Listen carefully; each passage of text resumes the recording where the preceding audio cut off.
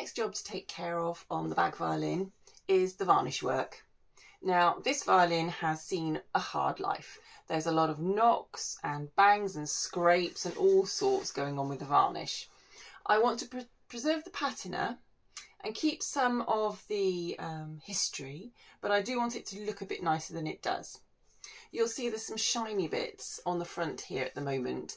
I have been starting to put some varnish filler in the places on the varnish where it's really pitted because I need to fill those gaps in before I can retouch the surface.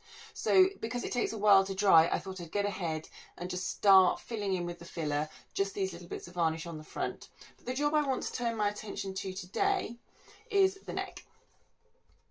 The neck seems to have a layer of varnish or lacquer or something on it. This is not correct.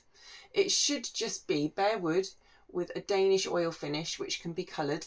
Um, and this this isn't. So when you slide your hand up and down, if you're changing in position on this violin, it feels slippery and it doesn't it doesn't feel like it should.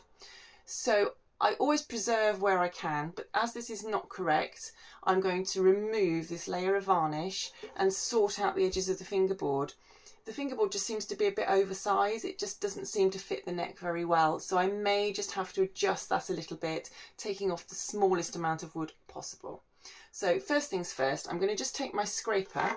I'm going to scrape along the edge of this uh, fingerboard where it hits the neck and just get rid of some of that lip where it shouldn't be there. I need to be careful not to touch the fingerboard while I'm doing this. But this is the quickest way I've found of just getting off the ebony. I want the widest part of the fingerboard curve here, about in the middle of this ebony, I, I suppose. I want the top bit to curve in so it's slightly slightly thinner so the middle of the curve comes on the middle of the fingerboard I guess really and this doesn't feel right at all this side so I might just have to do a bit more reshaping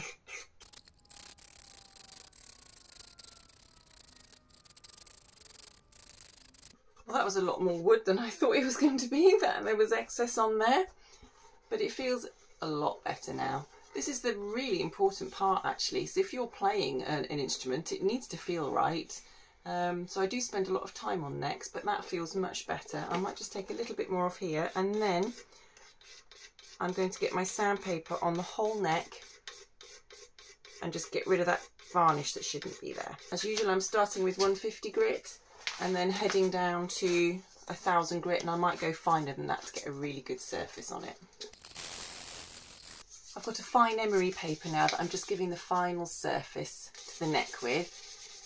It took some doing, but it feels really beautifully smooth now. And I think that'd be lovely to play. You can't feel the join between the fingerboard and the neck, which is what I want. But because of all the sanding on the edges of the fingerboard, the edges here at the top feel a little bit too harsh. So I'm just going to take a bit of 400 grit, I think, uh, if I can find it, there it is, and just put it on a flat block and just do a little chamfer on the edges just to curve them off a little bit and make it even nicer to play.